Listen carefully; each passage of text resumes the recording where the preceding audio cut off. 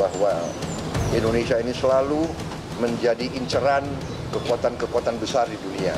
Pemerintah harus kokoh berdiri dalam Pancasila, ketuhanan, kemanusiaan, bersatuan Indonesia, musyawarah mufakat, dan keadilan sosial.